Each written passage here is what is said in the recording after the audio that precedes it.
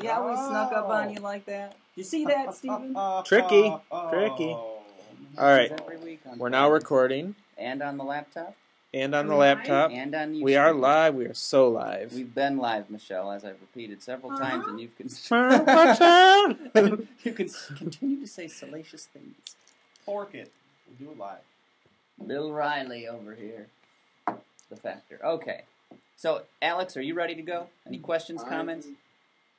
I'm ready. He's been ready. This man was born ready. Oh wait, he was we- born Joshua Sorry. Topolsky too, and he changed his name. But have Michelle say the welcome to Roundabout thing? Can you do it over the music? I always do it wrong. uh, yeah. Why don't we have you do that, Stephen, And well, I'm going to say it's for Skype reasons, and Alex, I'm going to have you say this is roundabout because we usually have the guests say that. So, the way to beat after Ben says I'm producer Ben Sanders, just go, this is Roundabout. Yeah, except say it with, uh, but with enthusiasm, gusto. like you want to be gusto. here, even if you have to pretend. This is Roundabout, I As soon as you hear the music start playing, Alex, that's when you say it. Okay. right, how about right after the music stops? Fine. yeah. This is Roundabout. But you never know what that is if you've never heard the song before. Or even if you've heard it 83 times, you know.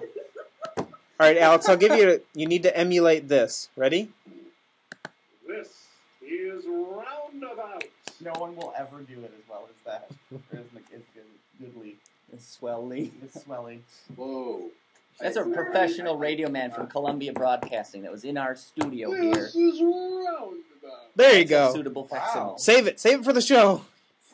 You can always patch that in. You think? All right, I'm ready to You're go, recording guys. in both places. Certainly. All right. All right. Everybody's ready then? Let's do a show, shall we? Shall we? All right. Can we? Here we go. Coming up on Roundabout, a Model T Ford is commemorating a special anniversary in a very momentous way. Literally. Some unlucky folks had to put out a vehicle fire with some pretty unsavory stuff. Find out who and what in just a few minutes. And we'll take you back to the bad old days with a look at some of the worst station wagons ever. So stick around for all this garbage and a dumpster load more, only on Roundabout. Roundabout is sponsored by Advance Auto Parts. Visit our website roundaboutshow.com to get up to $30 off your next purchase. And by Tire Rack. Follow the link on our website to save up to $80. From Not Raining for a Change, Seattle, Washington, I'm Alex Kierstein from Hooniverse.com. From Los Angeles, California, I'm Michelle Naranjo from Auto Bid- Biddle. From the Roundabout Multiplex in Livonia, Michigan, I'm Stephen J. Ewing from Autoblog.com. From the fine family of Autoline programs, I'm your host, Craig Cole. And I'm producer Ben Sanders. And this is Roundabout.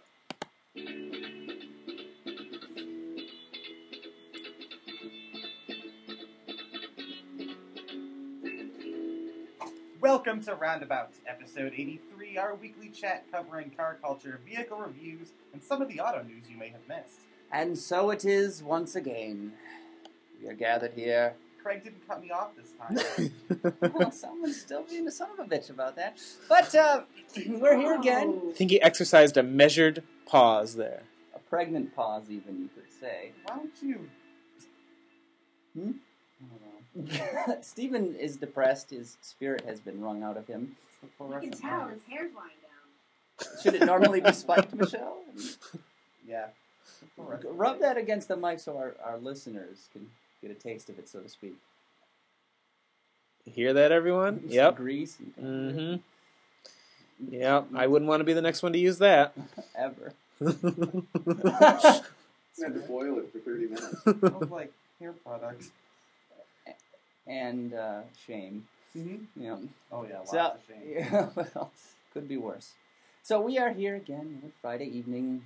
We've, we've gathered around uh, the, the, the folks that we care most about in our lives, and we've, we've come together for you, the listener, to do another, ah, just another great episode of Roundabout. You know, I thought we weren't doing long intros anymore. we're not. We're getting. We're, we were getting right into the meat of it. That was a new policy. so you're dragging it out by asking me. I'm just trying to move you along. Have I been dragging this out too? What's the theme? as I was going to say, the theme this week is what's old is new again. So we've got this. Sort Oh, of that's why you were doing the long intro because we used to do the long, tired intro, You and now we're that. bringing it so it's new You again. can say that if you wanted. to hmm. Okay. But um, yes, so joining us, first time ever, very special guest is Alex Kierstein from Hooniverse. That's that's me. So yeah, we're, we're glad you could make it from Seattle, Washington. Yeah, beautiful, sunny, uncharacteristically sunny Seattle. It's The gorgeous. left here. coast. We've got two left coasters here. Mhm. Of course, Joey, you are in Long Beach or wherever. Uh, Irvine. Irvine, yes. I'm in Irvine today. Irvine, Irvine. Irvine, California. So, well, thank you guys all for joining us. We've got just a wonderful lineup of stories here. And the first one fits our What's Old is New theme beautifully because some folks are reenacting a very special historical event that happened way back in the year 1911. Hmm. Sounds like it was a good year, though. I wasn't there personally, but if I could time travel, I would seriously consider going back to 1911. That's slightly before. You would go back to 1911. Something about the skimmer hats. I'm not gonna lie. You would fit in well in 1911. Like. What does that mean, Stephen? We'll talk about it after the show. well, I think, anyway, um, back in 1911, um, Ford had just uh, moved into the British market and were selling the Model T. And as a bit of a publicity stunt, the uh, marketing guy that was at the company decided to drive said car to the highest mountain in the British Isles, Well, I say. The highest point in the Cherry land. Hill, which is called Ben Nevis. I don't know why they named it after a guy. I thought that was the name of a golf player. Perhaps. But Ben Nevis is evidently the highest peak in the British Isles, the British, the United Kingdom archipelago, if you will, at 4,406 feet. So not so steep. But uh, he drove the car up there, took five days to make the trek to the top of this mountain. We didn't quite have the roads that we have now. That's true. And I imagine there are some mud or ruts or sticky peat bogs or something you'd get trapped in. Did they put off-road or all-terrain tires on it? I think they were they had wooden spoked wheels, Stephen. So Wow. I would guess not. No, have you ever seen any of those of the videos where they they're driving Model Ts like up and down the creek banks and they're just stock Model Ts? Mm-hmm. Those things were they they were pretty good off road. hmm The Universal car was quite uh, adept at handling that rough terrain. But I digress. Um, so to re- commemorate the occasion, 100 years later, they uh, they basically got another Model T to the top of the mountain, but they weren't allowed to drive it because of the environmental issues. So the Model T club over there basically carried one up part by part and reassembled it at the No. peak of the mountain. Wow. Yeah, I don't not. I'm not carrying the engine block. Not gonna do it. Sorry, Stephen. We'll let you handle that. Yeah, I mean they carried the car and then reassembled it at the top to commemorate the occasion. I mean, great. Somebody drove up there 100 years ago. Awesome. Do you really have to reenact it? Well, if you can't drive up there. But do you really even They have could- to they could reenact? save some effort and just set up uh, a Henry Ford style assembly line that just was angled up the mountain. There you go. It up the mountain. Yeah. Brilliant. So, admittedly, a pretty cool feat, but maybe this should have gone in our segment. Why? Perhaps. And look at so we we found this on the Autoblog, autoblog.com, Stephen, your namesake website. Yeah. And they've got this lovely photo of a whole fleet of, of tees, presumably ones from the States, because they've got the appropriate left hand drive. Hmm, appropriate, relative. No, it is appropriate, it's the right way to drive. Anyway, um, Yeah, but and it's on the left. Not, so it's not the right way to drive. no, you're just taking me literally, Stephen. Trying to be punny, Craig. That's so punny. Punny. Anyway, so yes, look at the positive camber on those front wheels. Can you believe that? I'm blown away. Mm, apparently not. Crickets, crickets. For our audience, away. wh- why don't you explain what positive camber is? Look at the top of the front wheels. This How is the angled out it you is. Start to naps. Ah, we're done here. Next story. Did you just do a story? I thought you were just waxing on. Yeah. Pace, pasty powered cars. Alex, we Yeah, have an so- article, another UK themed article here. UK and Yeah. UP, because You know- pasties are a Upper Peninsula delicacy here in Michigan. yes. We just got a pasty shop in um, Long Beach. Really? They sound disgusting. Pasties are a, a big Oh. old northern Michigan They're tradition. Awesome. They're big in England. I, I love uh, cheese and onion pasties. Mm. Mm, I mean, who doesn't love pastry filled with meat? I mean, Exactly. That's really That's true. Mm, the yeah. pinnacle of British cuisine. But Is it boiled though? What's that? Has it been boiled though? Oh, I'm sure it's boiled before it's put in pastry. I And mean, then- how else can you prepare meat? I don't think there's another way. And does it contain pigeon and or ox heart? Pigeon and ox heart pasties are actually the best kind. I don't know if you've had them, but something about the way it just slides down your gullet is phenomenal. Well, I didn't really they suggest- originate in the Midlands too? I understand. I think so. Yeah. I, I, I have no idea. I'm not really a pasty expert, but I, I do know that these these scientists in the UK who probably blew through several million pounds worth of grants have discovered that Pounds money. contain- right. But yes, yes. Well, and also probably they consumed a lot of the pasties as well. So quite literally, but uh, apparently they're full of oil. I who, who would know this? You know, they're full of grease and They're in oil. edible Saudi Arabia. Pretty Less sand. Yes. And uh, they, they found a way to extract the oil from stale pasties and uh, create a biodiesel out of it. So, Michelle, from your experience, do they deep fry the pasties in the UK? ask. Just gonna ask. No, they're actually baked. Yeah, You know what? that's what I was gonna say. Open that link. I just have to tell you, it starts saying downloading malware. well, that's good. So Hopefully you've got a Mac. The article passed the little initial picture of the pasty, but um, yeah, they're not. They're more baked, and it's like flakier. It's more like um, puff pastry. Yeah, and that's how it is here as well. And I wondered, do they have so much oil because they deep fry them? I have, I think I've encountered it in the UP where a couple places deep fry, but it's not very common. Right, because the flaky pastry is actually just butter. Exactly. Booter. Booter. Butter. They, they do have a few photos on here, and Ben, how, how how close are these pasties pictured here to the ones that you have experienced? Now, I understand you used to work in a coal mine, and you would heat them up on your oil burning lamp on top of a shovel. On the back of my shovel Mhm, when yep. it when it was uh, Yep. lunchtime. Yeah, I'd right over my lamp. When did you work in It's a coal blue mine? Collar cuisine. It was it wasn't actually a coal mine. That's the one thing you got wrong. It was a copper mine in the Upper Peninsula. And now And that was right, right. Was that before or after Vietnam? Uh, During, well, actually, there was a d- a significantly before. Uh, Vietnam wasn't a country yet. This was the 1860s. Exactly. Oh. And it it was a whale oil lamp. Well, you, could, you could tell kind what, what it was like in 1911 then. That's right. Well, unless you had died by then. Certainly, Typhoid. it was delicious. A good year, a good vintage then, as it were. Well, fascinating. I, I can't imagine there is there is such an abundance of stale leftover pasties that this is a viable source of fuel. I'm sorry. Yeah, th- th- this seems like like kind of a reach. I mean, uh, exactly how many pasties can you? See, it seems like you'd be burning a lot more fuel driving around and figuring out which shops. to Collecting them. exactly. Unless they're they're just blatantly wasteful. Well, we got to cook up six thousand pasties for today's lunch rush, and oh, we've got like fifty five hundred left. Darn. I've got a better idea. Just just don't put oil as much oil into the There you pasties. go. I don't know. I think it's good for employment if we build a pasty pipeline. I like this. I like this. Straight into my mouth.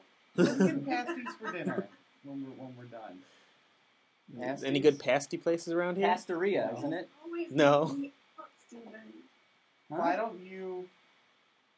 Well, they just put a pasty place in, Pasty Place Yeah. pipeline. so we'll we'll get on Skype. Alex, I'm sure you can find one too in Seattle. Speaking of getting on, this is what we should do. Uh, move on. To the next story. Oh yeah. Mm. Greg's bored. I'm hungry and I'm trying to speed things along, And Michelle. shits at the same time. Bored or, or boring? Yeah, that too. Mm-hmm. I collect stamps. I should bring my collection in sometime. Stephen. I would love Bottle to look caps, At that. bottle caps as well. I would be honored to look at your bottle cap collection. What's the next story? What cars stolen in 1975, Michelle? I Recovered, didn't do it. recovered on the opposite U.S. coast. Well, it's another one of these stories. Only this time it was on the East Coast. It, it was well, it was recovered here. Um, Let the record show that she used quotation marks with her fingers. Was I use, was I quoting or was I just? thinking? I thought I thought you did. I thought I saw it out of the corner of my eye. Really?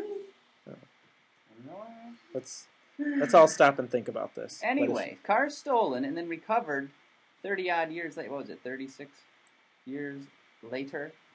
Yeah, That's so, crazy talk. Um, a, a woman who owned a um, 69 Camaro in New Jersey uh, had it stolen from the post office where her father worked. Why do I have a feeling that it was actually her father's car?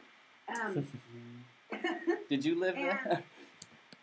Well, did she visit her father at the post office often? That's there.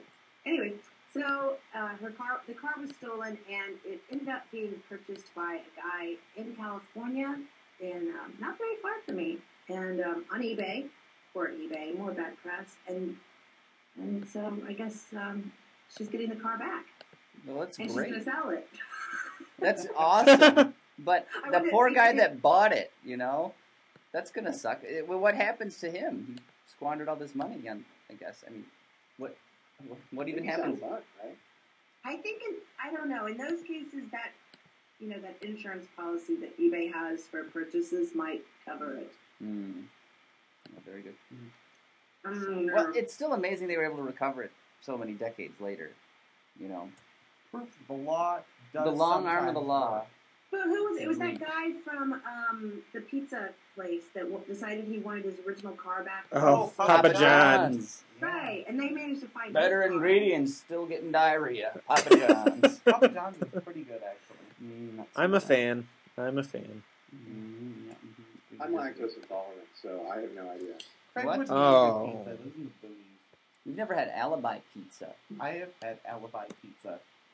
What's that? Good. It is very, It's very superb. It so is shut your trapper. I have had alibi pizza though. All right, we're having a little Michigan debate here. Yeah. Tell me things that I have or is Ben the would say it's Mario's. This is in the Michigan Burton." delicacies ep- Yes, episode. it should be. the few that we have. All right. Pasties and Making me hungry. I wish I didn't throw up Why do you have to record this during dinner time, guys? I know.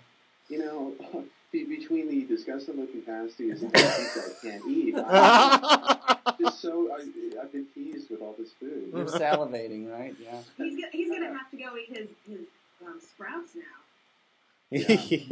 I had a veggie delight that's what we sub at lunch. I love sprouts.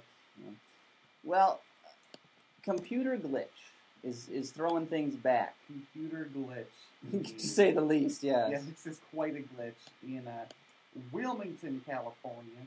Which is right around the corner from me. Oh, well, there you go. Um, there was a gas station that had a glitch in its computer system and was selling gasoline for a dollar ten a gallon. It's just like it used to be in the Depression, I think. And this happened Ah. for a uh, a three hour period of time on a, on a Sunday morning, and uh, you know because gas prices are like four something a gallon right now, it caused the gas station uh, to lose about twenty one thousand dollars. hmm It serves them right. They're always Mhm. gouging, right? Yeah. No, they don't hmm actually. Um, Gas station owners don't make any money off They of make it. Yeah. like like two or three Yeah. cents per gallon. Mhm. Um, of course, if you have you know a gas station that's pumping twenty million gallons a day, It adds up. It's not too bad. But they make their money off the convenience store items, which is why when gas is so high, they do so poorly because not only are they you know selling less gas because people are you know conserving on their gas usage, Mhm. people are less likely to buy The honey buns or something, their right? that coke. ah, I don't know. After I see what the what the you know what the how much it costs to fill up my tank, I I, I, I need I need something. I need a candy bar, or something to make me feel better. So I'm doing my part. You know. Yeah. Help and support hard-working folks, some blue-collar Mhm. people. Yeah. They're manufacturing um, a s- service for people to buy. Um, yeah. So anyway, twenty-one grand, Yeah, that that equates eight to thousand yeah, eight thousand gallons of gas during a three-hour time period. And apparently, word was starting to spread, and people were just lining up to What? get fuel for a buck ten. Weren't the Hey police guys, I can there? tell you this Mhm. neighborhood, everyone was on their Nextel like speak talk phone. Beep, you know, doing that thing where they're like they're calling everybody they know. Mhm. Do, do they still make those phones? I mean, Yes, I don't do. know. People in my neighborhood have them. when I was in college, many of my friends had them. and They were always, bloop, bloop, bloop, bloop. and I Duet. Oh no, Yep. that's the other one. That's the side. No, what was that It one? sounds like a Fisher Price product, doesn't it? Yeah, it does. Well, When was when was gas last a dollar ten a gallon? It feels like you know, God. the nineties. Probably about when I was in high school. in the eighties. Yeah, filling up my S10. The 80s. remember No. in high school for like a couple of months it was ninety nine cents a gallon, and uh, it was pretty amazing. I actually saw it. I witnessed it go down to like 77 cents. Oh cents my god. for like See- two days. The lowest I ever remember was like the early '90s. I was probably in elementary school. 89 cents was the lowest I've ever seen. Mhm. 89. Wow. I remember I, I did a video with a friend of mine our senior year of high school, and we were driving, and we were commenting Was on last year? No, we were commenting on how high gas prices were, and you know how everything was just so expensive. And we pan up to the the sign above the gas station because gas was like a dollar forty. Oh my god. Outrageous. We were freaking No, I remember being like really upset when it shot up to about a dollar thirty. It's like I can't believe this. This is just ridiculous. I remember when it hit two dollars, people were freaking Yeah. out. Oh, we just didn't know we had time the coming. Kaiser sold the word for twenty, right? right. Oh man. oh man. So, so Dutch artist is turning some junk. He's a pretty resourceful guy turning junk into some pretty attractive art here, Michelle. We should not done. Into Really? A lot, not junk. A lot, not junk. This is nice stuff here. He is from Holland, isn't that weird? Holland. Would you like me to tell her what the story is, or you just want to talk about it? I'd like you to take the reins, Michelle. Okay. Well, there is a hollandaise artist. Mm, that's not correct. I can he's a fake who's uh, creating some artwork, and I'm not going to say his name. I can say Deirdrick, but I can't say the rest of it. Hmm. Um, and he's making these um, wooden Try cross sculptures. Try your felt. Try your belt. There you go. You said it. And I think they're really nifty looking. I like them. and the catch being he doesn't repaint any of the pieces of discarded wood that make up the Automobile. The art. Yeah. So he's just finding things that are already the right color and then putting them in, in the right place. Isn't Yep. that nuts? Like a mosaic. Yeah, That's incredible. Yeah. Awesome. that's pretty pretty excellent. It's ludicrous, in fact. I would hang are. one of these above my commode. I think I think that is that is a beautiful, beautiful piece of art. Take the Most GT people Golf. buy for golf above their um, sofa, Alex. That is his sofa, Michelle. I'm not most people. you spend more time on your on your commode, you said? That's where, that's where I do my best work. Let's, let's be honest. Well, I'm not right, going to moving touch right that along. one. Well, that ties in nicely with our next story, Alex, because um, there were some workers at a prison, prison in uh, Grafton County, New Hampshire. They were planting some taters out in the field when the Ford Ranger pickup they were driving burst into flames due to a ruptured transmission oil cooler line. And the only thing they had available at the time was a tanker truck a tanker load of liquid cow manure, which they thankfully were able to use to extinguish the flaming truck. Hmm. So it's a pretty shitty day at the job. Would you think? Oh. Thanks for the oh. automatic playing video, Mr. Levine. Isn't that nice? Irritating. Yes, but so yeah, I mean, they they because this this this tanker, this tank, several thousand gallons of liquid feces, I would imagine, had a special sprayer nozzle on top. That's how they dispense it in the fields. Lovely. So they just back it Oh, up God. near this flaming truck, just burning to the ground, and spray it down with poop water. So, or or Poop water. or uh, stool tea if you prefer. Oh. And uh, yeah, they thankfully extinguished it. But so, you said Oh. it, Michelle. The I um, can't wait for that truck to show up on eBay. You know, they'll send it to retailers, Stuff you know, up. No, you're there. You there, Michelle? I, I, the article mentioned that uh, the the prison convicts that were working just ran away when it caught on fire. So the guards had to chase them, and they wasted time because there was a fire extinguisher in the truck. They could have just used to put it out, you know, nipped it in the bud, so to speak. But everybody started running away. The guards had to corral the prisoners, and then before you know it, oh, truck goes up in smoke. Pause for a second. We lost Michelle. I'm going to add her. Yeah, but we lost her on Skype. You're back. Cute. Yay! Baby. so yeah, interesting story or, or or not interesting, Stephen? You be the jury. Uh, it's a little. You could say It that. leaves me all a squitter. Oh. oh. Did they have a champagne there, Ben? Mm, we won't get into that. No, we won't. That story is crap. that story is crap. Speaking of crap, Yeah, speaking of the crap. uh, next article is certainly something. And uh, Steve, How do are like you that? pouring a cup of tea, or was that? That's a cup of stool tea. Oh. Ew. I never want to do that again. Yeah. Ben, that's your cute. Oh, my god. It sounds like it sounds like that. you're Speaking boiling of- frosting or something. Have you seen the color of a particular Cadillac Escalade? Do tell, Stephen. Yeah, this Escalade. I don't know if you guys have heard of the company uh, Fab Design, but um, they're famous for making me want to throw up in the motor show uh, with their hideous blue SLS AMG. And uh, they've just about done it again with this Escalade that is, while brown, um, perhaps the ugliest Escalade. Is Escalade it the Zune edition? I've ever seen. It is not the Zune edition because at least the Zune is not this. Um, Well, yeah, Fab Design, uh, Ruin, and Escalade. They they did this. My favorite part of it is how the Escalade has like a vertical row of projector beam headlights and running lamps and uh, turn signals, and it's uh, headlamp cluster. And they put this cover over it that just has holes for each individual light, Hmm. which so like reducing that. But then below it have put these giant like Nissan Juke style fog lights that are just ridiculous. And then of course you've got enormous chrome wheels, big fender flares, um, and it's just uh, It's it's awful. Nine ways to Python? Sunday. Uh, that is Python, actually.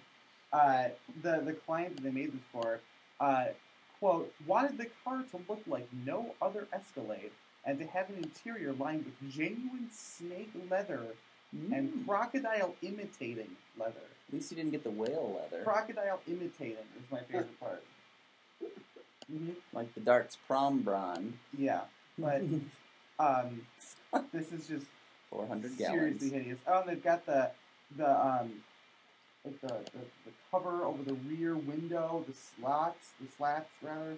It looks like those, one of those old Mustangs you would have. They put those awful. Yeah, on the side. I don't even know what they were for. The, the rear tailgate. Well, no, they'd have them over the back window, or you'd see them on Dodge Daytonas or something. Those You know what's more louvers, yeah. Or the exhaust. Oh yeah, the exhaust. That's quad bad, exhaust? It's quad exhaust vertical, so like two, one on top of the other, pushed way out to the sides of the fenders. This is It's a piece of work. I would rather Is this a drive. Hooniverse car? I would rather drive a smart. oh, you It know, needs mini blinds on the inside. Hooniverse has standards, okay? And man, this, this exceeds them by a lot. Way too much to actually go on the site. Um, you know what I like actually about this? The, the Nothing. running boards, it, it appears that they're cheese graters. I think you could just scrape up against a giant wheel of cheese and have some road nachos. Oh god, this thing is. It's sad. It- and they didn't even do anything cool under the hood. They just left the normal V8. Well, the guy's this guy, clearly he's a an all show no go kind of person. Well, I mean, I wouldn't say no go. The Escalade isn't a slouch. No, but if you actually cared about performance, it something. Yeah, at least give it like 2,000 horsepower or something. Mm, yeah. Or at least, how about snakeskin valve covers at a minimum? Mm. Ooh. I like the way this man thinks. And I want like a. I want, I the steering wheel from a Lotus Covered in whale skin. covered in whale skin. Right? From a very intimate part of the whale. You I weren't want- here for that episode. That was an early no, one. I, no, but I know that story. Yeah. I want the headliner done in bee skin. I want the Yeah. skins of bees Mm, Flayed and that'll take a while. covering the entire. well, we're gonna leave that up to you, Stephen, because I don't know where to find bee skins. I'm just saying. If they can get whale or not no, No. this is the wrong word. Opposite. Oh my goodness. We don't need to go any further. Yeah. So equally awful. We've got an article. So you know, a lot of Americans are averse to station wagons as practical or you know, simple functional vehicles that they are. A lot of Americans don't like them. Um, Which is I know. awful. Europeans If adore you're them. an American and you don't like station wagons, you should be ashamed of yourself. It's okay. Some people could dislike them. I'm not getting angry No, you should this. be ashamed of yourself. You're not a true American. if You don't like station wagons. Well, we've got a Outside roundup Station wagons. Yeah, Exactly. on the Hooniverse. We've got a roundup of some of what you guys, Alex, I'm pointing the finger now, are calling the worst wagons ever produced. Yeah, you know, when, when Jim comes down on an American wagon, you know it has to be particularly bad. And uh, you know, from reading through his article, you can just you can feel the pain of generations of, of American children being stuck in the back seat on those horrible leather benches with no opening rear window. That was the line that got me out of all this mm-hmm. whole article. The Can rear windows. that? That that beats the Dodge Neon that when you got power windows had cranks in the back. This takes the cake because they don't even roll down. How much? God, that is the worst mm-hmm. cost cutting ever. But what you have to do is you have to you have to then immediately think about the great American wagons that have been built. Mm-hmm. The Chevy Celebrity Eurosport wagon, Mm. the current CTS-V wagon, perhaps. Okay. I mean, the, the list of wonderful wagons is much, much longer than the list of bad wagons. And, and even as bad as these, uh, I believe they're G-body wagons. Did I, did I get that correct? I don't know. Um, They were the downsized ones in the '80s. Everything about the '80s god-awful sucked. things were. They, they were terrible, but even considering how terrible they were, some nutcase, I found this earlier this, well, late last year, some nutcase crammed a 454 into the front of one of these bad boys, and uh, it was my car of the year nomination on Hooniverse.com. It was the Woolits. It was party up front, party in the rear. Nice. Oh, we'll, we'll, maybe we can throw a link up to that article. Yeah, we we'll put that in the in the show notes, roundaboutshow.com, and also that's where you'll be able to find photos of that Escalade we were talking about a minute ago. Look, don't look at it. You Yeah. don't want to look at it. It's pretty bad. Yeah, don't don't look at either. Really, let's be honest. I'm honest. telling you, you don't want to look at it. Okay, the wagons though, under the hood, that's even more depressing than the lack of roll down windows, I think, because Right. the the engine lineup, 200 cubic inch V6 or a 231 cubic inch V6 that delivered 95 to 110 horsepower. Terrible, terrible. Well, four four four is a 260 diesel V8. I mean, I knew about the Oldsmobile 350 diesel, which which goes down in history as the, the best boat anchor ever made. But I didn't. They made a one year only one that was even more awful than that. It's just uh, a, a, a, a, a cornucopia of horrors. Exactly. Uh, uh, 95 to 110 for the V6s. And then, uh, one of which, the Buick V6, was not, did not feature even firing. They took a V8, chopped two cylinders off the end, made a V6 out of it. That's common to do, saves on architecture costs and engineering and everything. But you've got to do something known as an offset crank pin because the V8 firing order is different than the V6, and you need to adjust the timing of the cylinders as the, of the pistons as they're running around so that it is balanced. They did not do that. They simply chopped two cylinders off and called it good enough, so the engine That's was not fine. even firing and ho- vibrated horribly. you gotta keep in mind, this is old GM we're talking about. hmm So anything was possible, right? Oh yeah. In- including deciding that, that for a transmission for these wonderful wagons, they were going to pull the uh, the Turbo Hydramatic 200 out of the incredibly reliable lineup of their smallest cars, the Vega and the Monza. I mean, brilliant, brilliant thinking. With no with no modifications, we're going to put it in a heavier vehicle. With a much more torque-rich engine, right? Yes. Well, much being a relative term. Yes. yes. So yeah, awful, awful wagons, and you can check them out in all their glory at Hooniverse.com. I love how you guys say that. I noticed during that, that whole article discussion, Craig said roundaboutshow.com and Alex said hooniverse.com. just so that just so that people wouldn't confuse, you know, that you don't have that it's not an office building. And it's it's not a book. It's not a magazine. it's an actual website. Yeah, but maybe they were thinking of roundaboutshow.gov. Exactly. Or, Or dot round- .org. Or roundaboutshow.com. Yeah, it's a, There's also universe.xxa. Yeah. Don't go there. Don't. Mm, Oh, wait, no, what? no. Michelle, not at the work computer, all right? Oh. Why do you think I brought my computer from home? Oh, that's naughty. Um, so, last story in the news portion of the show, we have got what I'm going to call a fanboy face-off here because Michelle and Alex, you two, are Oh. going at each other's throats here in regards to the new Beetle that Volkswagen revealed not too long ago at the New The York new, Auto Show. new Beetle. There you go. You knew. That they New. took the word new off of. The Well, 2012, how old was the the most the last one? The It was, new Beetle? like 50 years old because Wow. it came out in the 90s. It's older than the original that they were still producing.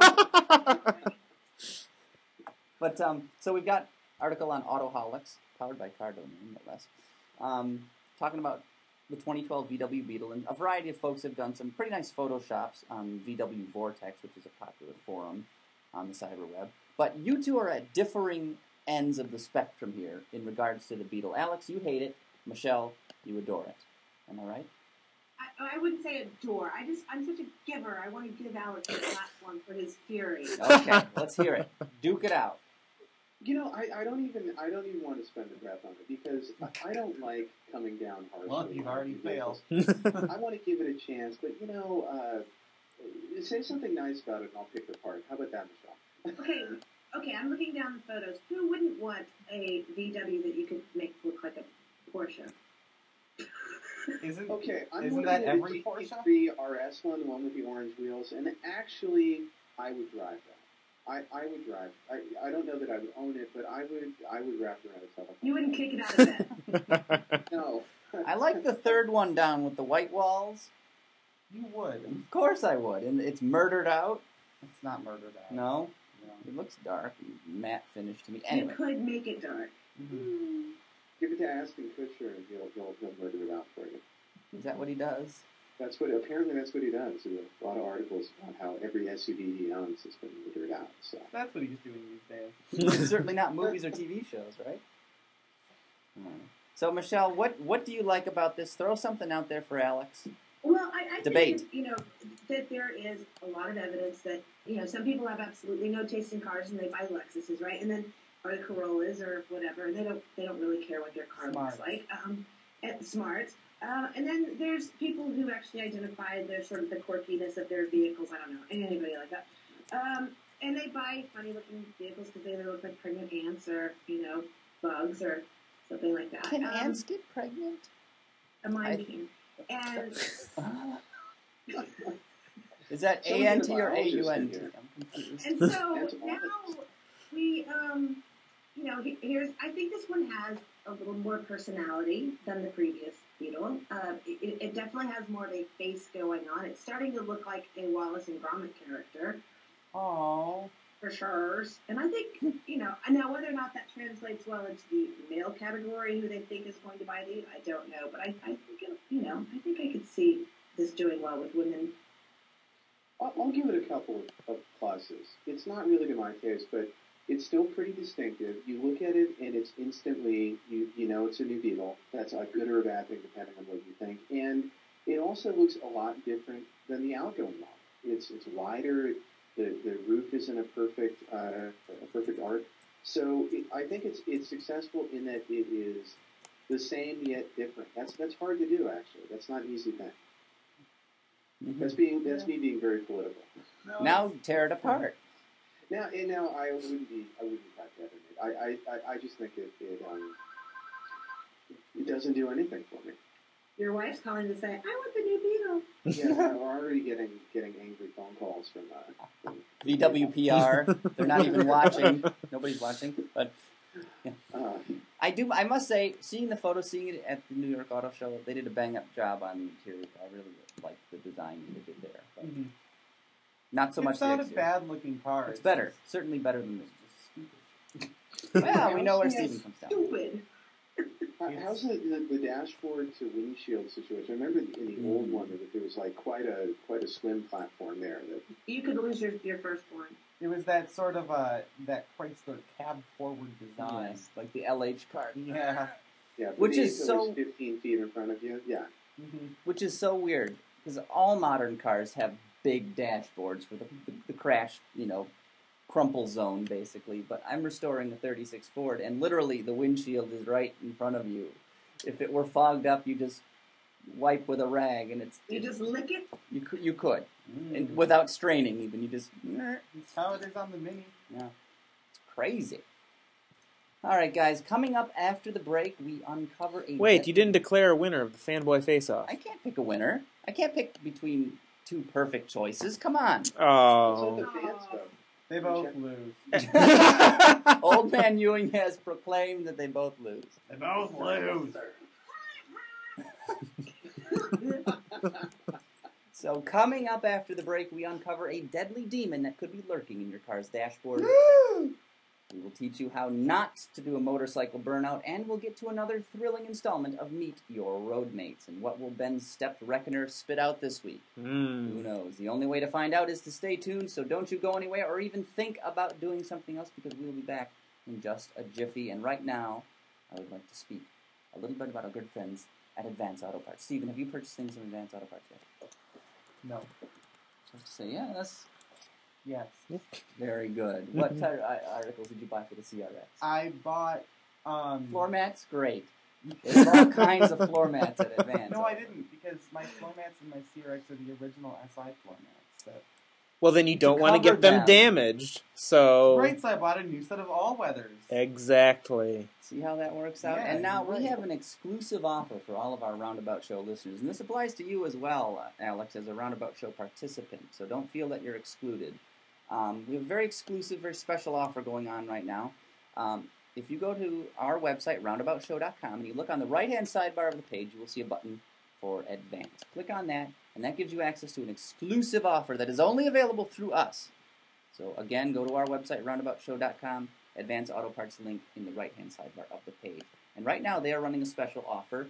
You can save $10 on orders of $30 or more, $20 on orders exceeding $50, or take $30 off an order of $100 or more. So again, that's 10 off 30, 20 off 50, or 30 off 100. Some pretty good savings. That's a lot of savings, Ben. That is a screaming deal. Yes. And again, once more, the only way to get these deals is to follow the link on our website, roundaboutshow.com. And even if you're not in the market for some for auto parts, they've got all kinds of stuff: repair, uh, replacement parts, um, aftermarket stuff, pedal covers, floor mats, whatever.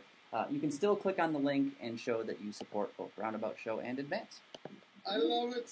And so do I. So we thank Advance for helping us out. That's right. And anyway, with that, it is time to move on to our blind spot story of the week. When news topics go unnoticed, are underreported, or otherwise fall off the radar, they land in our blind spot. And this week, we've got a little bit of a little feature about GPS units that kill. Dun dun mm-hmm. dun. GPS death by GPS is evidently becoming a more common problem as Okay, people I- choose to ignore I- common sense. I have to I have to speak up about this. All of these stories about death by GPS are to me I, I feel bad for these people. Like I'm sorry you You're an idiot. got stuck in the situation, but if your nav system is blatantly telling you to go the wrong way, like if you're driving through a field or you're driving through the forest, or like if you look where the, this woman that we're going to talk about who was stranded Yes. in her, her Chevy Astro van, they're in this like national park sort of looking place, not clearly not on a road. When you get to that point, when do you say to yourself, maybe this system is wrong? And She wasn't just stranded. She was there seven weeks. Seven weeks. Weeks. It's two months. Nearly two months. these people are so so dependent on the nav systems to get around that they're like, well, it, it, it told me to turn right. I have to turn right, even though Mhm. this is a one way street. I have to turn right. It's got to be correct.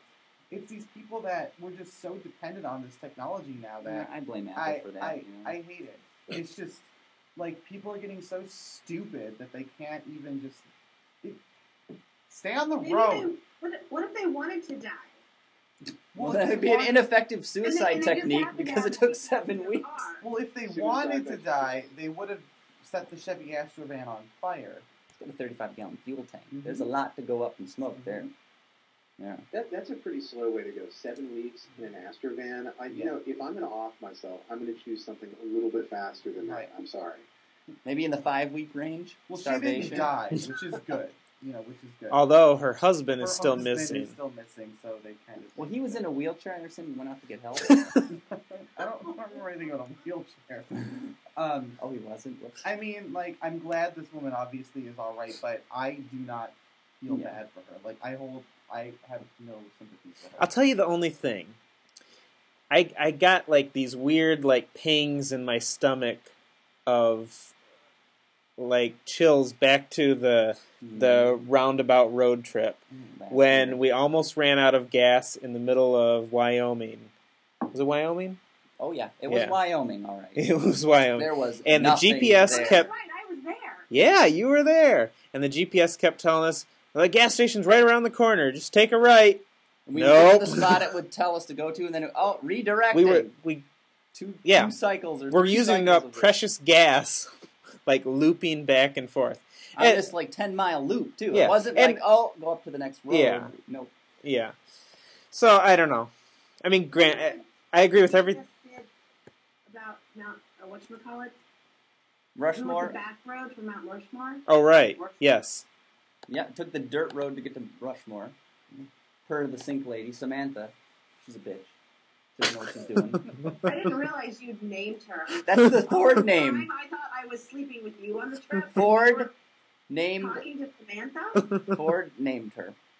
Don't ask me why they called her Samantha. You're about to lose the only woman in your life. This- you really want to go down this road, Craig? Yes. He has his mother and his grandmother. So, this is not about me. This is about everyone here. Roundabout road trip. it's very inclusive. We are with open arms. My We rule with that sort of thing, though, is, and if we do a road trip that I'm ever on, you will experience this. When you get to a quarter tank, just get gas. And that was the thing. Yeah, just. We we were at we, were at, a quarter, of a tank. Oh, Time to get gas. that much. Oh, yeah, Yes. trying to find the. car in the middle of nowhere. Well, you didn't get stranded in your MKT for seven weeks. Almost. All- all the- Well, I we- had to I- walk granted- up to this building. Oh, like, yeah. This was like half a mile away. Mm. So, guys, I'm going to walk over there. There are trucks, semi trucks. It's like a repair garage for trucks. So I go walking down the road to get there, and nobody's mm. there. So I phoned Ben the number that was on the door and had him call. And I was wandering back. I was too despondent to talk to anybody at the time. So, But anyway, going back to this, this story at hand here about this whole outbreak of death by GPS Yeah. and it's being named, yes, I have no sympathy for these people. It's just a little common that- sense. Yeah, you're just not thinking your way through this. Well, yeah, and have we a map in the car. They're not that hard to read. Oh my God, Stephen, thank you. Because you know what? I wasn't allowed to have a map on the road trip. I don't understand that. had Why- An iPad. I don't you weren't allowed. Somebody told you you couldn't have a map. Yes. Okay. I'm I pretty sure it wasn't me. people, like maps still exist for a reason because it's a tangible thing you can take with you. You don't have to rely on technology for it, and it's correct. It's not going to mess up. It's not going to glitch. You forget about the, the deadly problem that exists with maps, which is, according to that Garmin commercial, sometimes Oh, they turn into cuts. Maposaurus, which That is a, too. you know, destroys a small village. It's a giant map. Those Folding them can cause paper cuts or repetitive stress injuries. You don't want maps. Mhm. Exactly. Yeah, but That- no, I will take a map. Ben, weren't we at? We got to the gas station eventually in the MKT. Zero miles of range. yes. It was. It wasn't just like. It, clicked wasn't over- like five. it No, wasn't like just as we pulled three, in, we zero. pulled into the one gas station. It it clicked right to zero. and we had to wait two hours. Yeah, we had to wait two hours for the woman to come in and open it up. Oh hi. Because they had a really nice restaurant, didn't they, Greg? I mean, Oh I, God. I was just gonna bring that up, Michelle. Thank you for doing it. the re- the restroom there. I used the porta john that was like Absolutely. Two blocks away that some construction workers had set up. I had to take it. I so I held it. walked down I there. didn't want to bother the poor construction workers. Brand. This is the nicest porta john I've ever been in in my life. This thing was brand freaking new, brand new, never been used. Like sparkles were falling as I entered. Took a tinkle and left and said, "Ben, go use that one. It's it's right there. It's great." And Ben's like, "No, I'm gonna be uncomfortable for the next hour and a half and sit here pinching Is he my cheeks together." Yes, getting- yes. Nobody's eating the muffins.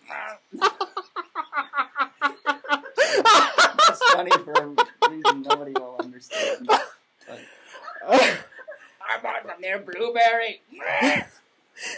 Alex, you have to come on our next road trip. I- I Priceless think I- I memories. Think I might next time if, if I am ever invited on one of these road trips. I think I'm going to plan ahead and bring a seven week supply of pasties. I think that's what I'm going to do. Mm-hmm. For the oil, to I would burn, advise or- it.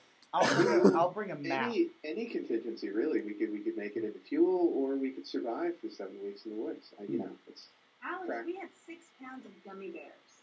That was an impulse buy, I understand. Don't you think we could have gotten fuel out of that somehow eventually? Or diabetes. from all that sugar.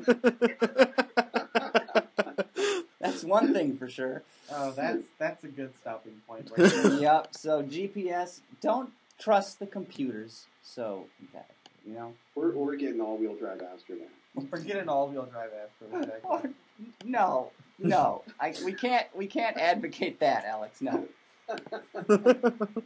Oh. How did they even get that Astrovan down in that gully? I mean, that's a piece of work there. Well, you know what it is. The Canadians. Okay. I don't know. You're not actually going anywhere with that. No. Okay, okay, Fair enough. Next up, who is ready for a self-esteem boost? Because we are doing another edition of Stupid Card Trick. oh boy. Go boy, go get it. Go on now.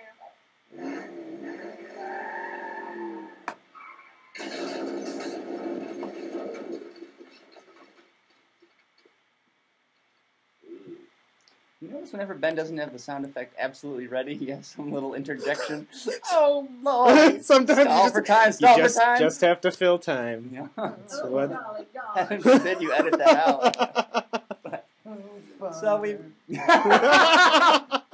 is Droopy Dog gonna show up, Ben? I just gotta get the sound effects ready. I'm gonna piss myself. Oh, good. There's a porta potty out back for you. All right, so we got StreetFire.net, great site for all kinds of crazy car-related videos. In this case, we've got one about a motorcycle guy doing a burnout. This is how not to do a motorcycle burnout because the guy nearly burns himself to death. Yeah, this is uh, truly a burnout.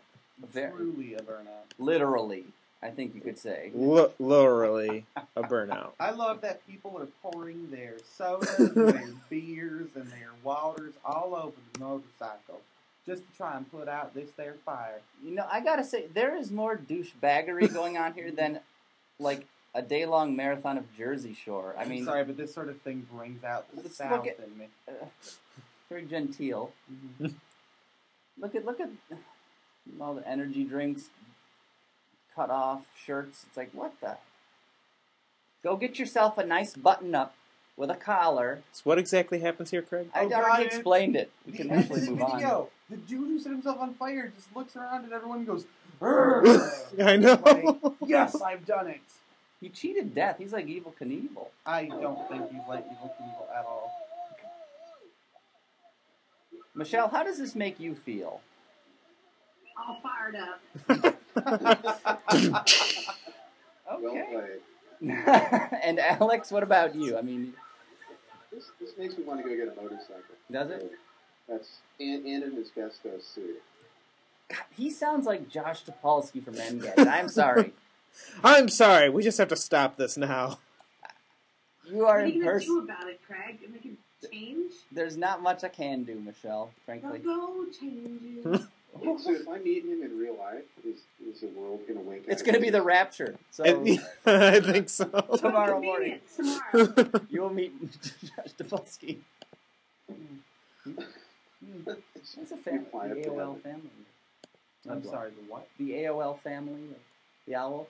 Oh yeah. Well, not I've- anymore. I've heard of the AOL. I believe he left Engadget. Mhm. Well, he did. Yes, I'm just saying. You've got Engadget. Is it? Do you need a topical cream for that, I've or? heard of I've heard of the AOL thing. So yeah, don't do a burnout on your motorcycle if it's leaking gasoline, because presumably it will catch on fire.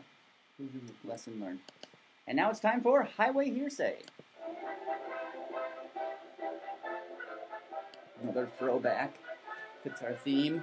That's the closest you're ever gonna get to headbanging. Seizing.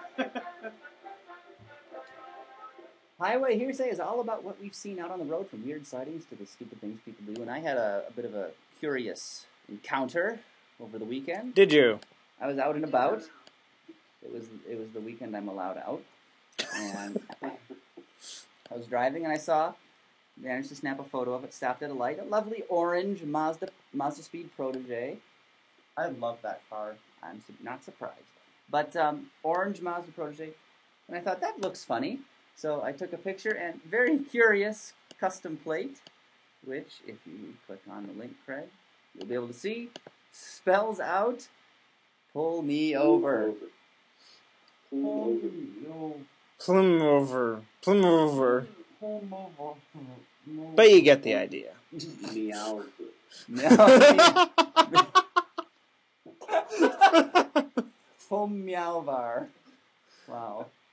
I think that might have just become a sound drop. I'm sorry, the Mazda Speed Protege was a very cool little car. That's what I want to talk about. They're, Yeah. they're fair. They're beautifully balanced front drivers. Like honestly, the I, I hope the reason why you took this picture wasn't oh look at that weird plate. It was whoa look at that really Oh, you did. good looking Mazda Speed Protege. It wasn't that I great. like it.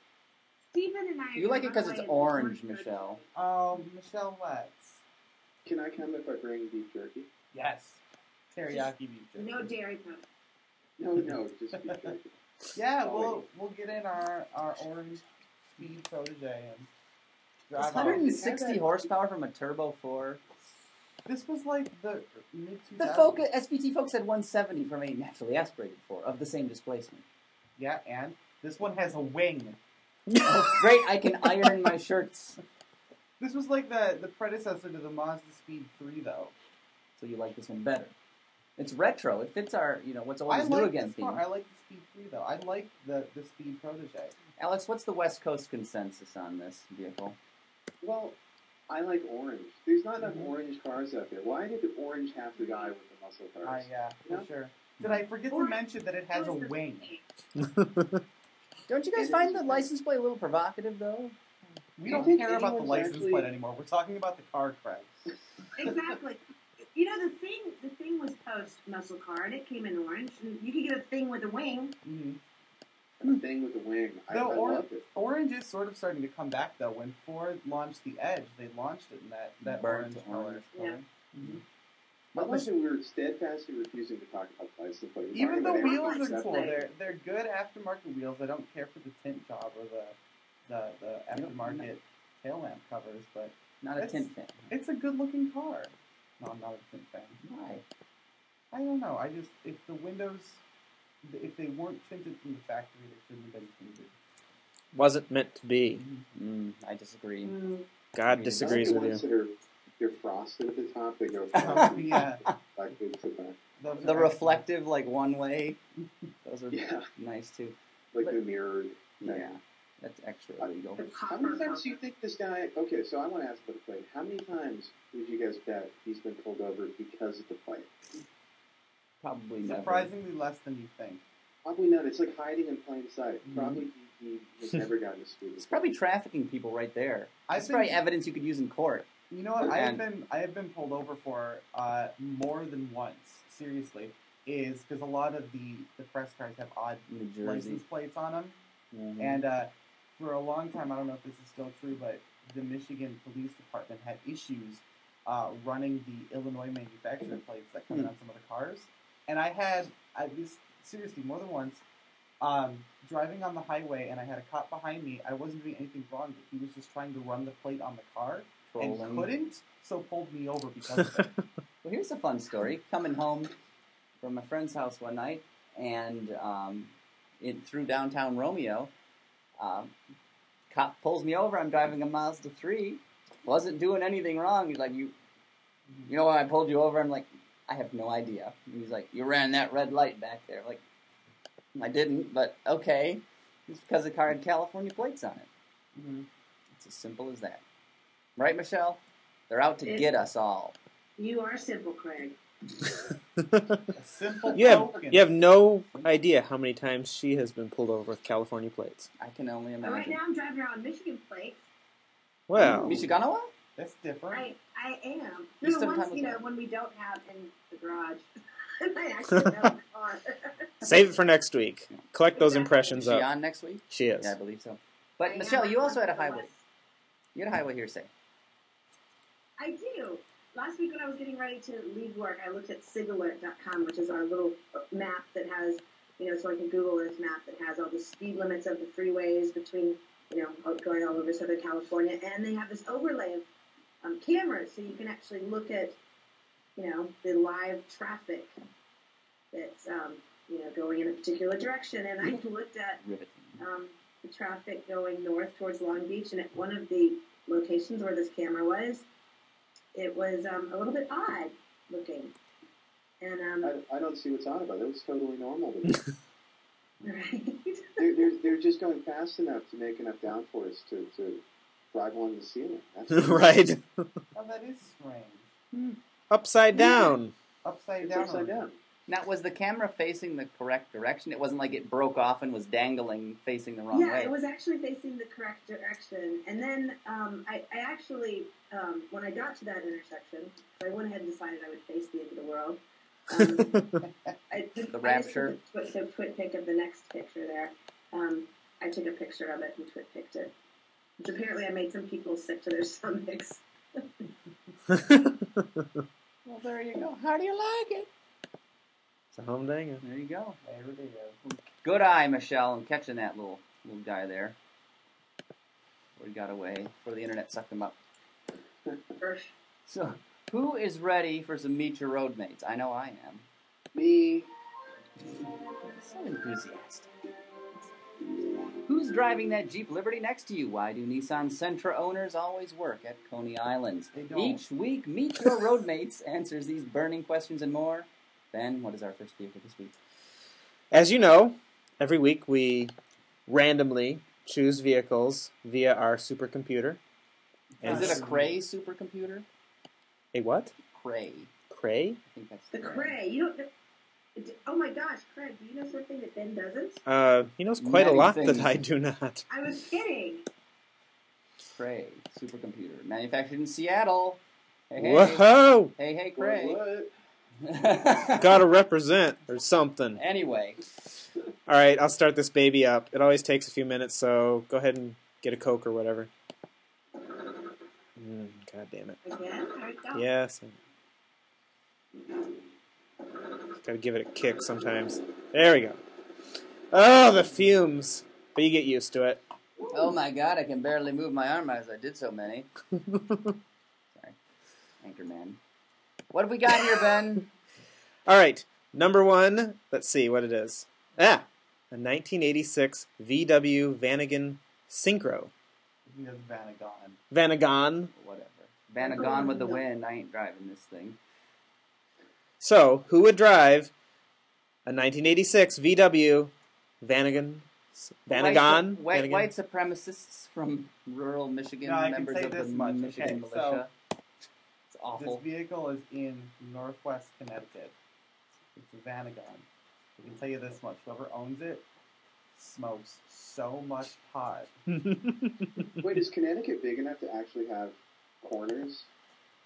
Sort of. I don't know. I'm, yeah. I'm on the West Coast. I have no idea. Big sky country. I'm It is. They just sort of the whole state is separated into quadrants. So and they're they're given numbers. There's one, two, three, and four. Like counties. Yeah, that's it. Kind of. So let's go over some of the specs on this beast. All-wheel drive, Volkswagen Vanagon Synchro, asking 3,600 bucks. It's an 86.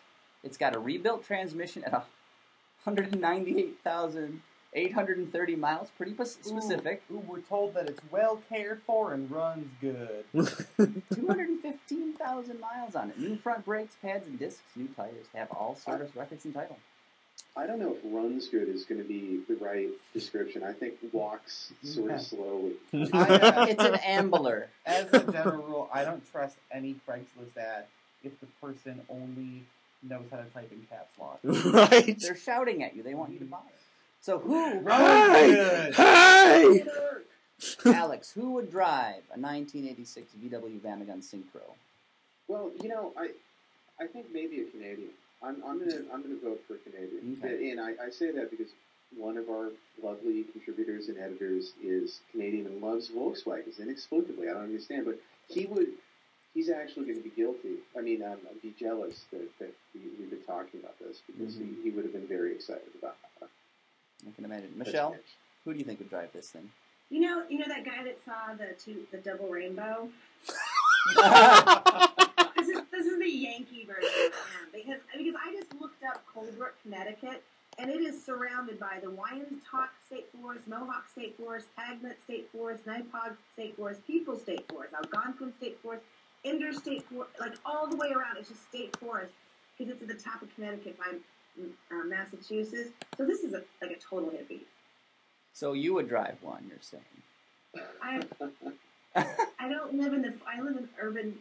But you're a hippie, right? Ben always says. Ben says. Somebody's mad at me. Ben. Say Ben. I, I say it with affection.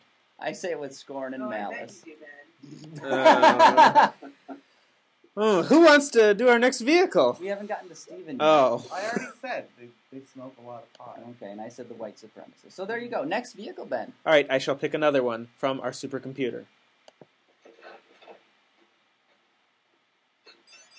Jackpot! Yeah, that's something all right. Next vehicle. we have a 1975, Yeah, I was gonna say Zach Exactly. Bowman drives this vehicle. Done. 1975 Where's Bronco. My gavel? Hmm. Let's move on. Zach Bowman drives. 75. Is it really that easy? Yes. One ton axles, fuel injected 300 straight six, no less. C6 transmission, big ass tires, located in Palmer, No, outside of Anchorage. Tigers as shown on picture included. Wow. Bowman. Yeah, the, Zach Bowman drives this car. What's next, Ben? Well, that did that. Do you have anything else to interject, Alex?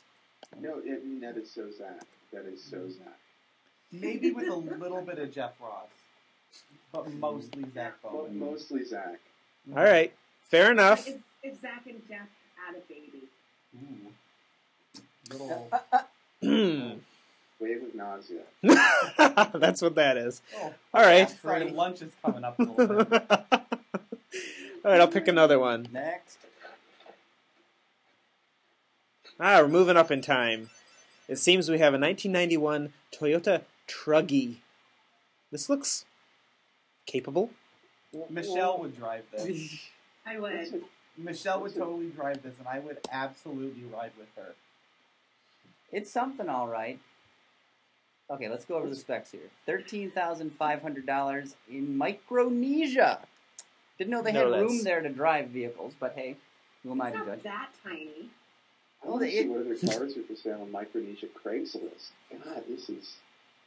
Awesome. Oh, It's a, oh sorry. We, we should focus on the truggy. What's truggy? What what is what is that? it sounds like a racial slur of some stripe, but um, I'm not certain. Anyway, It's a nine. really large troll. Yes. 91 Toyota Hilux 4x4 with the V-Type six-cylinder engine. Full exterior steel cage and body with a new suspension. Missing links front with all-pro springs. Front is mounted out 12, moved out 12 inches. Fully rebuilt front and rear axle with 410 gears and locker in the rear. 38-inch bogger tires with 15 by 12 trail-ready bead locks. Cold AC, new compact disc player. I know who's going to drive this. Hmm. I know. Who? Professional zombie hunter. Very good choice. That's hard to beat. Steven, you said Michelle. Michelle would drive this. Michelle, who would drive this besides you? Or a Um, zombie hunter? Or a zombie hunting Michelle? Ooh. yes. Michelle the zombie slayer. Yeah. That's it. Okay, Alex, I gave in and I looked at the other cars for sale in Micronesia. There's someone with a 2010 three, uh, 370Z Nismo. Ooh. I mean, there's it, it looks like all of our cars. It's a Corolla, Audi A4, hmm. Ford. Now, are these U.S. dollars or Micronesian pesetas or something? Well. Guam is a, a what do we call it, right? Protectorate or US. something? Yeah. So don't they use Yeah. dollars? Sure, I have no idea. Probably. But yeah, this is. Some, I have no idea who would drive this. A, a South Pacific version of Bowman. Whatever that would look like. Oh, it's Michelle. Michelle drives it. Okay. Michelle, Michelle, she wins. Michelle wins. She gonna drive it up the side of a dune. She gonna drive it. She gonna Ooh, I'm getting excited, y'all. We're She getting a gonna- bonus. She gonna drive it good. All right, Ben. What's our last option here? All right, our last one is a bonus round. Do This is a bonus round sound effect. um Do, do, do. there. That part. That part's the bonus. Okay. Um. Pretty sure that's a lie. So I will read you a description of a real living human being, and you will tell me what that person drives. So this is Meet Your Roadmates in reverse. You understand how that Oh, works? this is awkward. You ever played this one, this is version of the game? This is my first time. Oh, It's all of our first. it's okay. Hey, oh, No, oh, no, I- no. we played Oh, it before actually. But. Sorry. okay, so this actually comes from I believe an eBay post, and this is what the person writes. I will leave out the the car because it is mentioned. This auction prize is not simply about a car, but about a woman in a car. A woman who is selling the opportunity to accompany her on a four night, five day adventure on a Le Mans tour in her blank. A woman who many would easily would say easily earns the adjectives attributable to any suitable bidder of this auction. The journey begins on Thursday morning with an early departure from Folkestone, UK to Calais, France via Eurotunnel. At Calais, you, the damsel, and 25 other cars will form a convoy driving all day with a leisurely lunch break to arrive at your magnificent hotel in the Loire Valley. Spending a chill out day on Friday, you will explore the Loire Valley in convoy visiting nearby chateau. Shut up. French markets. French in high school. I don't know. I already have my answer. So this is just Okay. You I get the think- I idea. think we've heard. You get What- the idea. Who would? What would she drive? What would this woman drive? Lexus SC 430. Okay. In red. for the though. stylish whore. Alex. It's a, it's a red Lexus SC.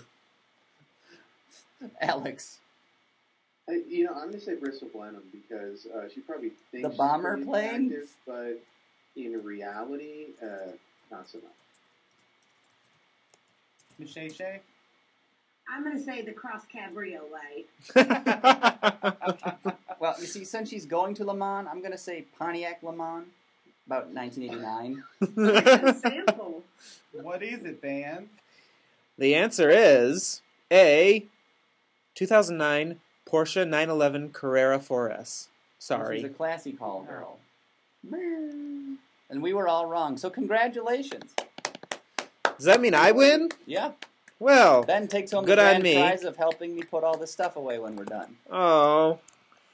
Well, Well, there you go. I, I put the picture of the nice young lady in the Moderately young lady. in the document. Well, very good. You know what, guys? I think we've got ourselves a show here. That Good was a hustle. show. That was, Yeah, that, that's we're- about. We're just about at full circle here in the roundabout. We're done. Yeah. All right, bye. Yeah. Goodbye. Good. See yeah, ya. yeah. Thanks, everyone. No, great job, everyone. Um, thank you for joining us. Thanks, teacher. if there's an awkward pause, that's a great way to fill it, Ben. I'm not gonna lie. So, Stephen J. Ewing from Autoblog.com. That's me. You're the fleet manager. I am. You get everyone that works at the Autoblog. You facilitate press vehicles for them. I do. That's pretty a monumental I responsibility. write stuff. You- I edit I stuff wasn't too. cutting you short, Stephen. He's a programmer. The word the word editor is in my my title as well. But your biggest responsibility getting them all them cars. You do a damn fine job of it. Because Yeah, there's always reviews coming up on there. We do. Thank you. there. Alex Kirsch, did you say Kirstein? Kirsten. Or, or I would, I would be it's Kirsten. It's close. okay, close enough. From Christine in the Hooniverse, car, Christine. Hooniverse.com. Yes. We're glad you, this is your first time in the roundabout, and I'm tempted to ask you if you enjoyed yourself or not, but I'm afraid you might be honest on the air. Oh yeah, yeah. No, please don't ask me that. I, I don't. You, I'm, I'm afraid of what I'll say. That's what he said about the VW bug. That's Ben's ego. Baby, this foghorn will answer your question. so, well, thank you for taking your time out of your day to join us. We do appreciate it, Alex. well, thanks for having me. It was a lot of fun. Yeah, we'll have to do it again, Josh. Uh, Alex. Okay, Paulski. whoever I am. yes. So, uh, you've also you'd like to plug your Facebook page for Hooniverse? Yeah, it's um, facebook.com slash universe. But that, of course, assumes you know how to spell universe. If, uh, hopefully, you'll give us some assistance with that on the Roundabout website. Oh, definitely. We will. We will put the appropriate link next to your Correct name. spelling. Exactly. Awesome. Yes, that is that is what we do best here at Roundabout. but it is Hoon, H O O N, Iverse. However you spell it. Universe. Iverse. We're, we're Iverse. averse to having it spelled any other way. Iverse. That's the name of the site. Follow us on Facebook, and uh, that's another way to get our wonderful fringy content. And on Twitter, you are at the Hooniverse. The universe, yes. Good to know. Good to know. Well, thank you. Thanks again, Alex, for joining us. We do appreciate it. Great job, Thank you. Michelle, Joey Naranjo, Cranky. Are you guys going to have a moment? joining us again from the Auto Bytel headquarters, the epicenter, really, Absolutely. It's actually the um, in Irvine, California. the international and intergalactic headquarters. Oh, really? yes. so the folks in Andromeda would would call into Irvine here. Yes. Mm. Absolutely. Fascinating. You guys are still, I understand, working on relaunching the Auto Bytel website. How's that going? It's a lot of work. I was at work till 8.15 last night at my desk. Ouch. But you've got the ball chair. I That's do gotta help. this business has its perks, let me tell you. I had to bring my own ball chair. Oh, that's a shame. Gosh dang it. Well, once the site relaunches, you start bringing some bookie bucks in, you can get them for everybody then. Absolutely. You're the managing editor at autobytel.com. I, I am indeed. So, I am indeed. and um, did you want to know what I was working on? if you, if you care to share. Well, actually, this Sunday you're gonna laugh. Don't laugh at me, please. I have to. Please don't laugh at me. I have, I have to speak at a self-esteem day for women because we actually have a favorite organization we work with here called uh, Working Wardrobes. It's workingwardrobes.org, and they um, get women that are in transitional housing, getting out of prison, all that stuff, Hmm. um, and back into the workplace, and give them clothing and job interview tips and all this stuff. And so I'm going to speak to that Well, on that's- Sunday. Great, Michelle. I know. helping I was people like, out. I have no self-esteem, and I'm going to go talk to these people who. I can't do it. I'm not good enough. It's okay, neither am I.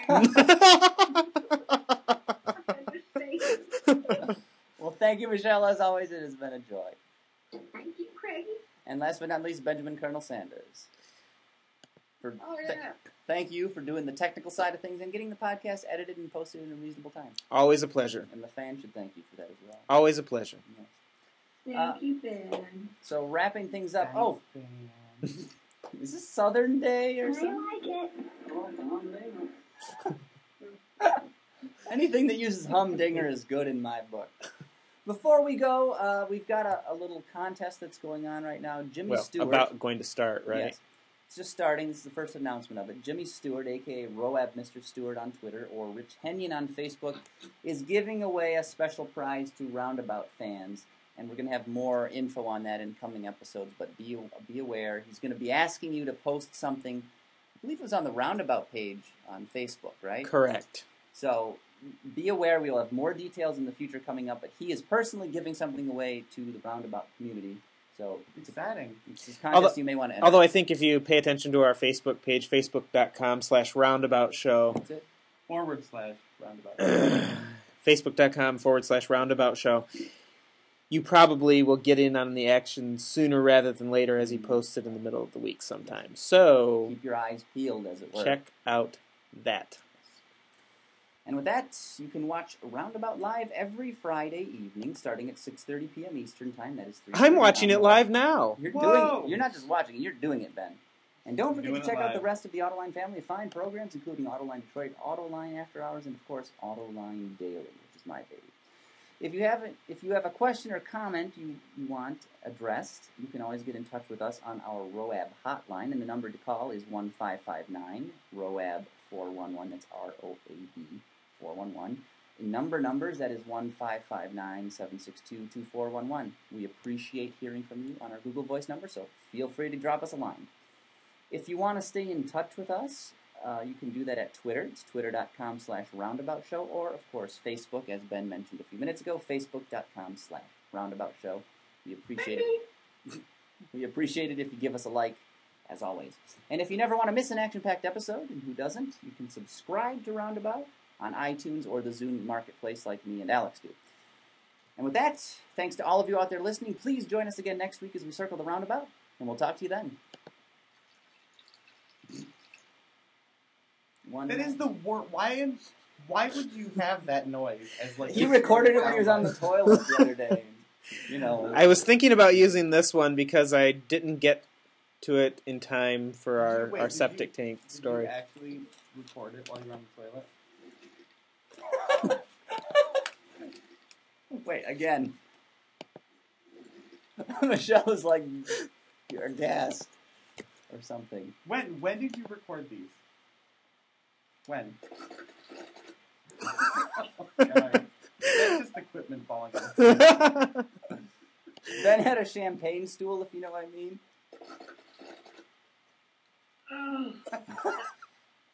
Does that feel better, Michelle?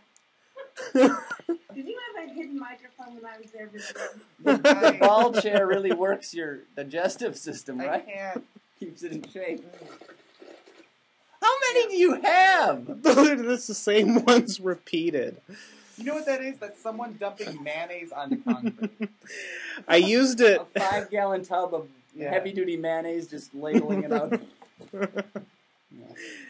Well, I don't need dinner now, thanks, guys. You're gonna save your pasty for later.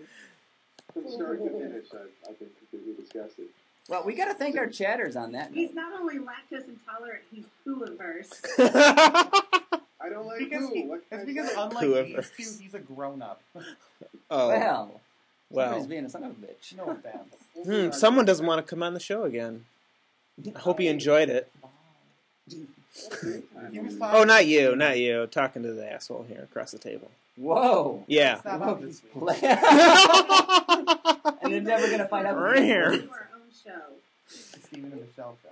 Stephen and Michelle show. do. Hey Ben, can I show you something? Yes. Let me put your. What? Oh, is that oh, a little bit lower? Oh, I was gonna ask you about this, but I decided not to. This is Michelle's miniature horse. Oh, it's a horse's ass. Honey, honey, we don't, we can't fit a mini horse in the van. Hey, Yes, Michelle. She's only 28 inches tall. She's smaller than Eric's dog. A, Michelle, why? and B, the county hasn't shut you down for having hoarding animals? And C, don't feed her any Beano. No. we need some great recordings, didn't we? Let, let me just thank our chatters really quick here before they all leave. And by the way, Alex, if you've got to go, feel free. Now is the time. Run if Ben's sound effects have worked it out of you, so to I speak. should probably run too because I've got a. I think that meeting I left to come and do this is still going on. Uh oh. sailboat to get on, so the hell with you all. Uh, well, thank you, Alex. Great job. Great job. Yeah, Awesome. thanks. Thanks for having me, and uh, I'd love to do it again sometime. All right, you're welcome back plan it. anytime. Bye, Michelle. Bye, Thank Skype you. people. Bye, Alex. Bye, Michelle. Bye, Craigie.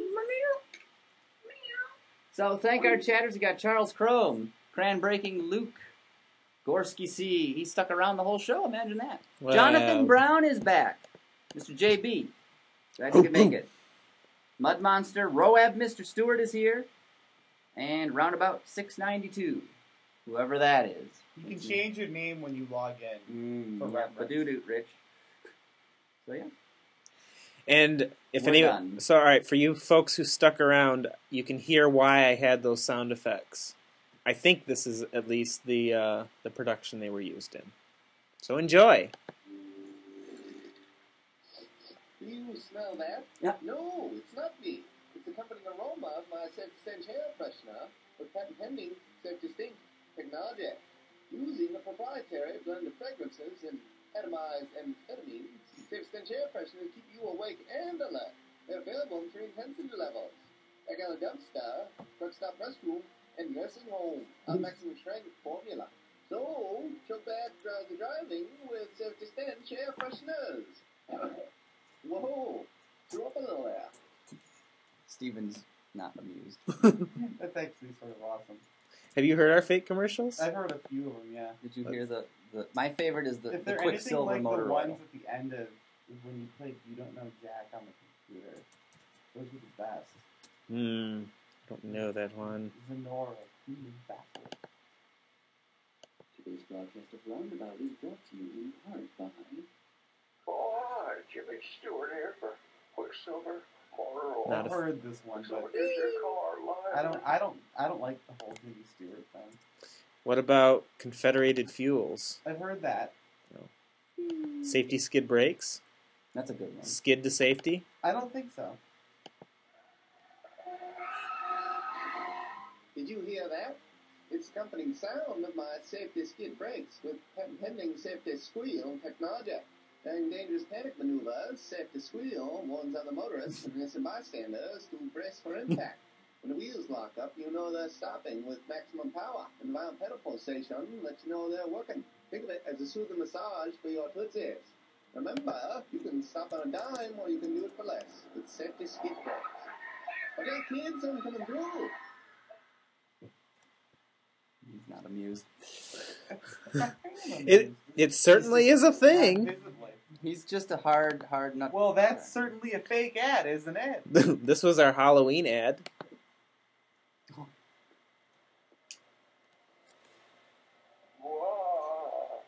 I want to stuff your blood. Oh no, don't be frightened.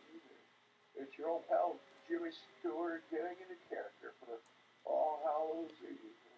I want to tell you about Royal Jubilee confectionery. You know, there just as many kids dressing up as goblins these days you know, TV's favorite jokester, Freddie Boom Boom Washington. Uh, if you don't want any tricks, you better buy the best, like Annie Mabel's saltwater taffy. Kids love it. After all, it, it's made with real rock salt. Or, or pick up a Halloween sampler with all your favorites like sawdust poppers, and old rusty candy loose fish, and horrible, horrible popcorn balls from the little lady down the street. With Royal Jubilee confectionery, I knew it was home coming. It's still funny. dandiest stop uh, on, on the block. And, uh, you better buy extra because the kitties will be fatty for a second. Well, if you'll excuse me, uh, I, I think it's time to give old Mrs. Stewart a break, if you know what I mean. Yep.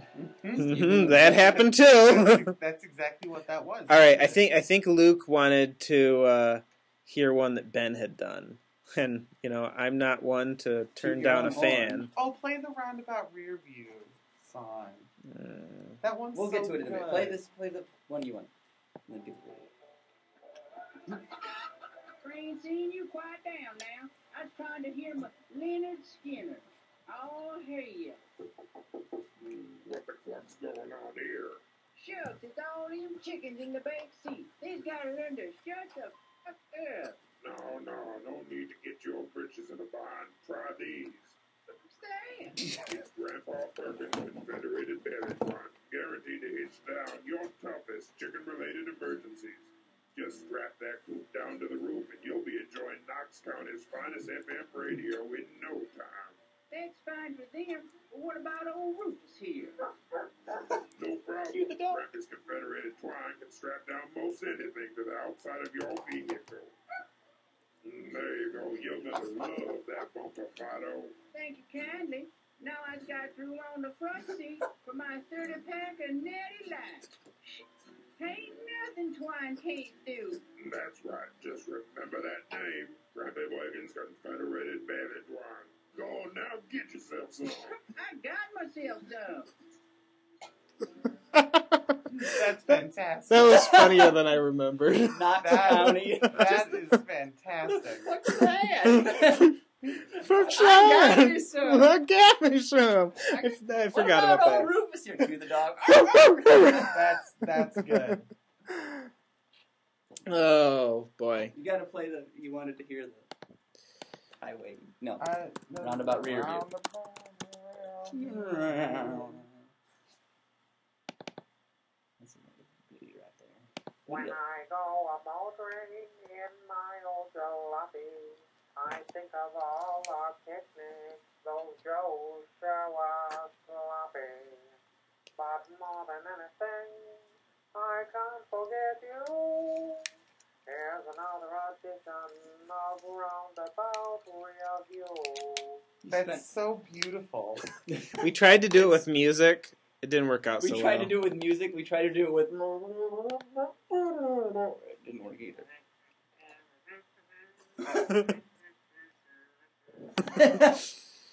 Did not work. what about what? There's another Grampy Perkins one too.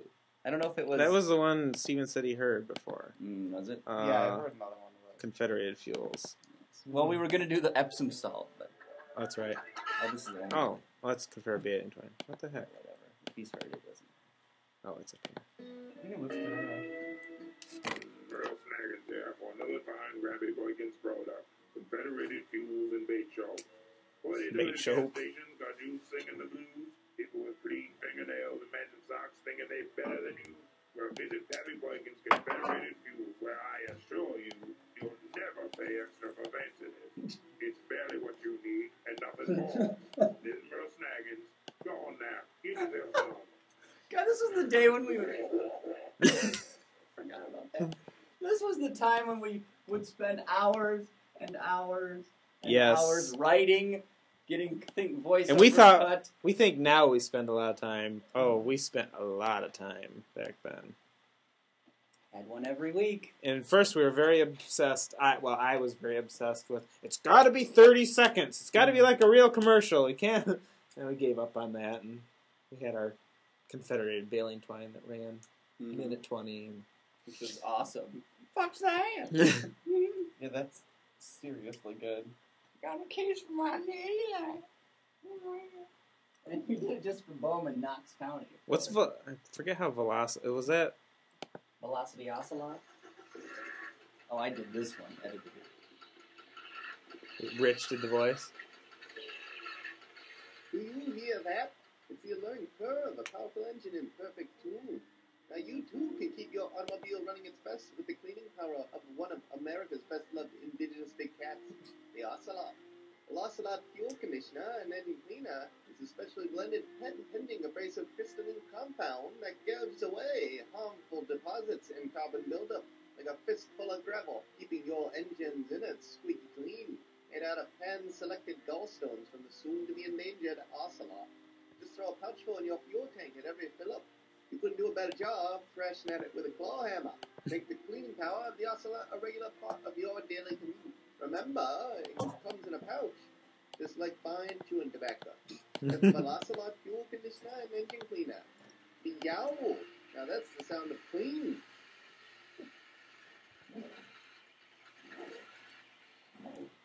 You know what? I just ran across the season one recap. I don't remember. I don't even remember what we did for Well, that. that was the when everybody much Bowman got killed with Eric and Previously on Roundabout Show.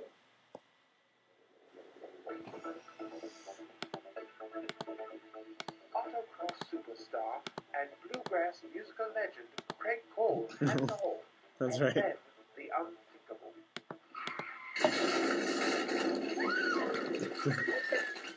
There, we used it again. Well, we've never seen a whole line of porta johns taken out by a Focus before. Well, we'll park like the River Sea. The dentist says it's over. I'll never autocross again. The one foot will never go back. The other one is gone forever.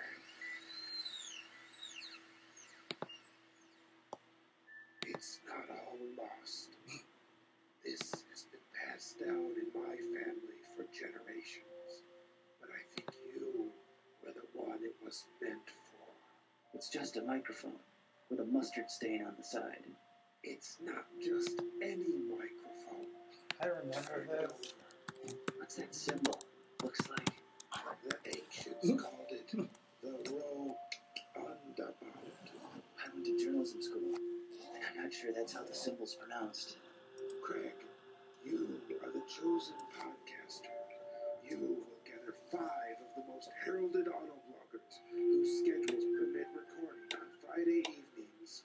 I'm Eric Tripko. I'm Michelle Naranjo. I'm Jeffrey Ross. I'm Zach Bowman. I'm Michael Bowman. Whoops. You will gather four of the most heralded auto autobloggers. Forgot about that. And so, the moment this journey began. Who are you people? And why's my chair away? Gotta be I'm going to find the perfect Jeep Comanche. You'll see. We'll all see. What? I'm going to post it on Facebook. Super cool. But if Jeff's not Henry's father, then that means. You're not the only one with blue poop, Dad. Yeah. Meow. Is it raining underneath me?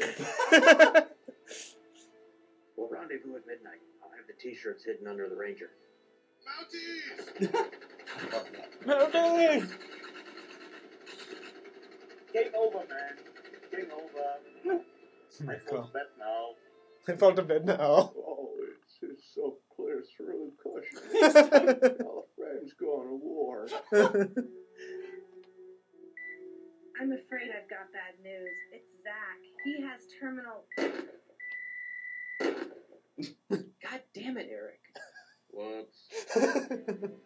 You face your greatest challenge. Craig, let your spirit animal guide you. My Navajo senses are tingling. Is that a porta-john? We only have a 30% chance of success. And if my math is right, a 90% chance of failure. That's a whole lot of hmm. percents, Craig. Just an excuse to use Into the breach! And now the exciting conclusion. Is it raining underneath